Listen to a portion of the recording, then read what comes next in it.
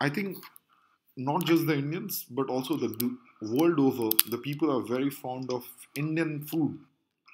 But what are the things you need to be cautious about? Like everything has its own good things and bad things as well. So the good thing about Indian food is yes, they have a lot of greens, which is high in fiber and less animal protein okay and they also use a lot of legumes and vegetables which is a very big plus. But the problem is a lot of these food is prepared in ghee which is like clarified butter or fried or used with coconut milk or fat. So most of them is saturated fat in fact.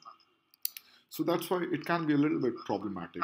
So what are the tips whenever we are eating indian food indian curry indian restaurant we are going so what are the things we need to be careful? I would really suggest try to use is salad. Otherwise, use uh, yogurt with shredded vegetables. And also, wherever you are ordering something, try to order one protein or vegetarian dish which is especially low in saturated fat and calories.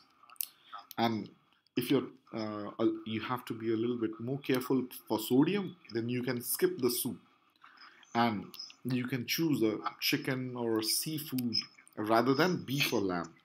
Similarly, uh, you should uh, choose uh, dishes without ghee.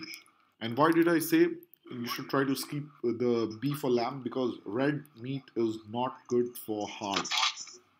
I'll really emphasize that. Next. So this is a table which uh, beautifully summarizes